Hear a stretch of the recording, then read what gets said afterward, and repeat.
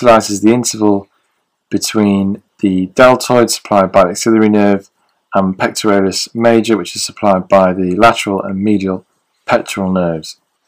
In terms of structures at risk, the brachial plexus and axillary artery run underneath the pectoralis minor muscle towards the uh, upper arm on the medial side of the conjoined tendon of coracobrachialis and the of biceps. Entering the conjoined tendon on the medial side, approximately 5 to 8 centimeters distal to the coracoid, is the musculocutaneous nerve, and this is at risk from over vigorous retraction. Mark with a sterile marker pen your landmarks, which are going to be the uh, edge of the acromion laterally and your coracoid anteriorly. You make a 10 to 15 centimeter incision, which heads uh, towards the uh, humerus for trauma, and typically for elective surgery, this is going to be more vertical.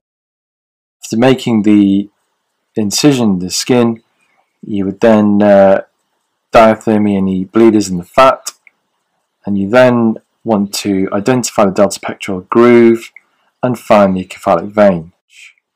And we can see that the uh, cephalic vein typically goes laterally uh, because of most of the tributaries being on the lateral side. Retract the deltoid laterally and this will then bring into view the clavipectoral fascia, palpate the um, coracoid process which is your next major landmark and we then incise the clavipectoral fascia on the lateral side of the conjoined tendon, which is the safe side. Depending on whether this is a trauma or elective situation, this will affect how we proceed.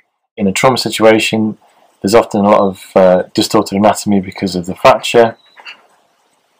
We need to uh, look for the transverse fibers of subscap and the long head of biceps, which is going to be our next major landmark for placement of the PHILOS or proximal humerus interlocking plate.